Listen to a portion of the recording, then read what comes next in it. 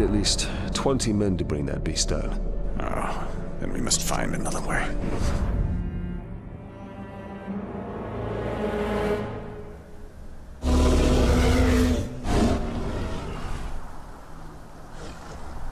Charging for the cave's mouth will only lead us into the Graug's jaws.